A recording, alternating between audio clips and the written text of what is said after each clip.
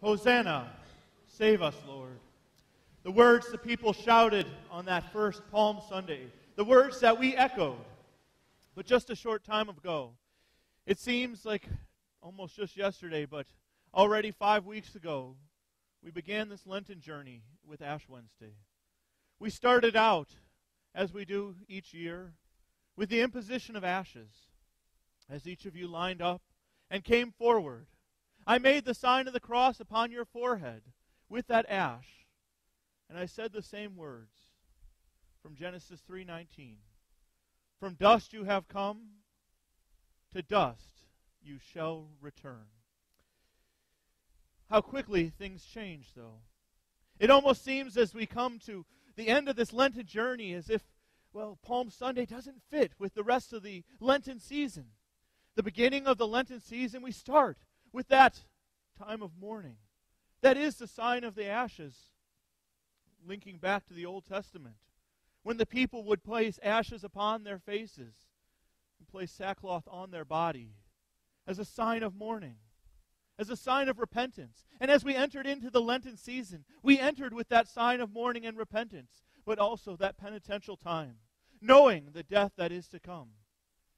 And as we come to Palm Sunday today, we cannot help but look and we can't help but notice how beautiful our church is decorated this morning. The joy that even comes through the singing of songs, like with the words of Hosanna. It seems like it's all too quick. Before we know it, the times are changing. Much like that first Palm Sunday. Things happened very quickly, didn't they? One minute, the people were welcoming Jesus in as king, they were welcoming in him, him as Savior. They were joyfully celebrating, placing their palms and their cloaks on the ground. The very next minute, he went from Savior to sludge. When they realized he was not going to be the one who redeemed them from the Romans, who was not going to establish Jerusalem again as the capital city, when they realized he was not the Savior they wanted. My, how their hearts changed. How things change so quickly, don't they? Like a blink of the eye. And things haven't changed too much, though, throughout history for us. Things continue to change at a great rate. Technology that we thought was impossible 10 years ago, even five years ago, is beyond what we could imagine today. But not just technology but even how we view life. Think of how things continue to change, how we live, how we speak, how we learn. Think of how things have changed. And think of how we stand as Christians in this ever changing world. Think about where we stand as Christians facing these changes that come. Many times we, we don't like change. We, we want to stick with the way things are. Many times we're content to just exist, to just go along each day. We're content to just face tomorrow. We're content to just live as though we're already dying. And perhaps those words that we say on Ash Wednesday, perhaps those ring true in our ears. From, from dust you have come, to dust you shall return. But those words aren't words that are intended for us to be disappointed, to spend the year as though we're dying. Those words are intended as motivation for us to realize that our lives are not just one moment, that our lives are not just one time, but our lives are constantly. Each thing we do, each way we live, each day that we live, the Lord has opportunity to work through us. The, the way we live in this world does have an impact. Consider for a moment Christ when he first came.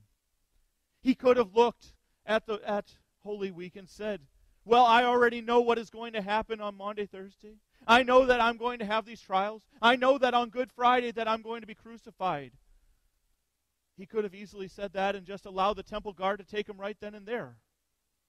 But he chose to have an impact, and not just in Holy Week. He knew his ministry on earth was short, so he lived each day. And look at how he lived each day. He lived each day as a, uh, having an effect on people. He could have easily said, Well, there's no point.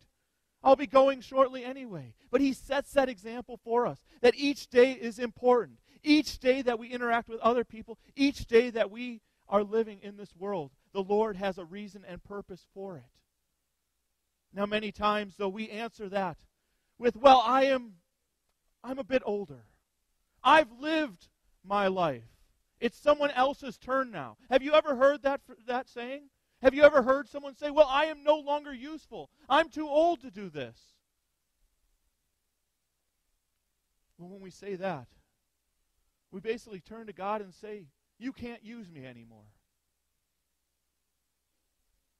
Basically, we're just living to die. It's interesting that difference between living to die and living for the life of Christ. It seems like it would be just a small, even the words are just a little, a few phrases apart. But it's such a big difference in the way we face each day, in the way we look at the world around us, in the way that we approach life. For if we look at it as though we are already dying, then what is the point? What is the point? But when we look at it as Paul looked at it, if we look at it as though each day the Lord can use us, then we'll take each day and we'll look for the way that he will use us. Paul said in Philippians chapter 1 verse 21, "For to me to live is Christ, and to die is gain." Many of us are familiar with that verse. We know what Paul was talking about. We know that the, the, he, the Lord was still using him each and every day, that the Lord had intention. But he also knew that if, if it was the time for the Lord to call him home, that that was okay too. But he was going to make each day count. He was going to go out there, even after he had gone through several, several beatings, several opportunities of being rejected, even knowing his past history he still went out. And each day, he had an impact on his world. Now, about eight to ten years ago,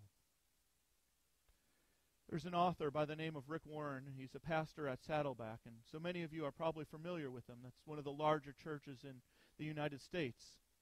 He wrote a book called The Purpose Driven Life, and while we don't agree with all of the theology in that book, much of the theology in the book, we do agree with his main point, and that is that God has created each of us for a purpose.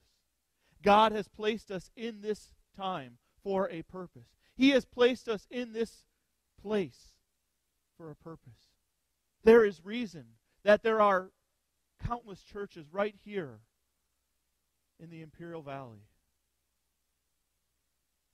And that is because the Lord has a purpose for each one of us. Each one of us as his children. Now we choose to ignore his purpose, though. When we decide that our lives are no longer useful, when we decide that all we want to do is just go along,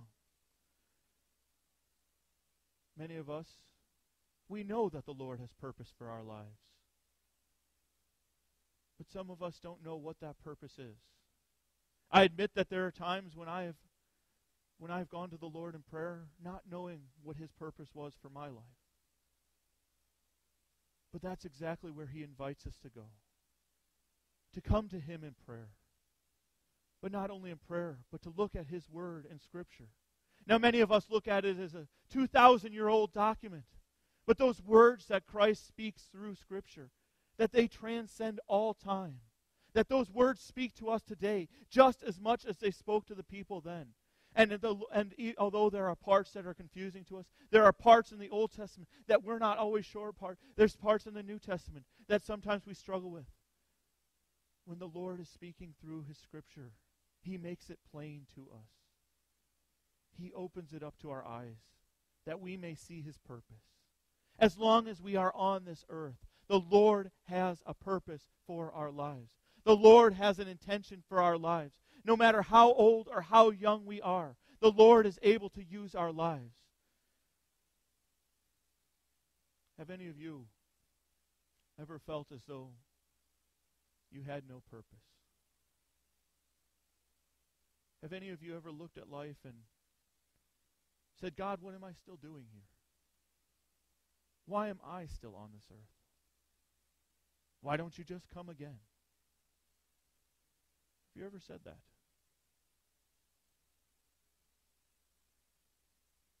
Well, if you have, you would not be alone. But it also shows that need for the Lord to speak in your heart, to speak in your lives. Because too often we are content to just assume that we are living to die. We're just waiting for the last day. And like Paul said, it will be gain when we die. But the Lord has not appointed our time yet. Each of you are still here this morning. Each of you are still here for a reason. Now, as I admitted, I don't know what the purpose is for each of your lives. I don't know what the exact reason is, but I do know what God tells us. And that is to love and serve Him, to live this life as His servants. When Christ came, He knew that His time was short, and so He made the best of each day. He knew that we needed a Savior because we would make these excuses. We would put up these things as reasons why we could not, why we could not serve Him. Why we might as well just go on. He knew that we needed salvation.